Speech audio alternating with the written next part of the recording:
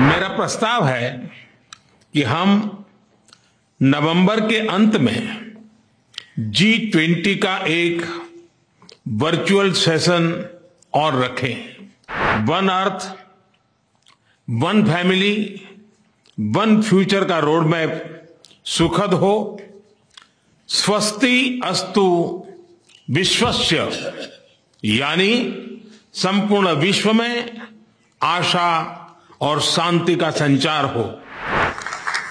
Your हाइनेसेस excellencies जैसा आप सब जानते हैं, भारत के पास नवंबर तक जी ट्वेंटी प्रेसिडेंसी की भी ज़िम्मेदारी है।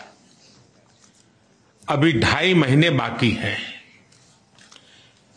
इन दो दिनों में आप सभी ने अनेक बातें यहाँ रखी हैं, सुझाव दिए हैं, बहुत सारे प्रस्ताव रखे हैं। हमारी ये ज़िम्मेदारी है कि जो सुझाव आए हैं, उनको भी एक बार फिर देखा जाए कि उनकी प्रगति में गति कैसे लाई जा सकती है।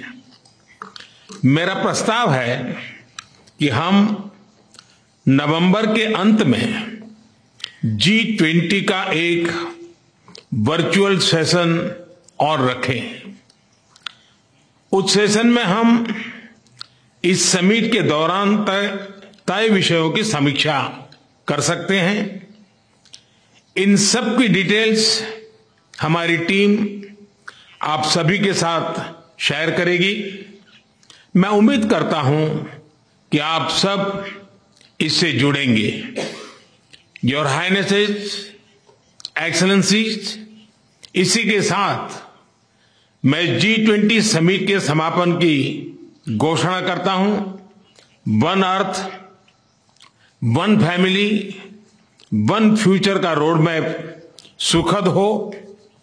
स्वस्ति अस्तु विश्वस्य, यानी संपूर्ण विश्व में आशा और शांति का संचार हो। 140 करोड़ भारतीयों की इसी मंगल कामना के साथ आप सभी का बहुत बहुत धन्यवाद।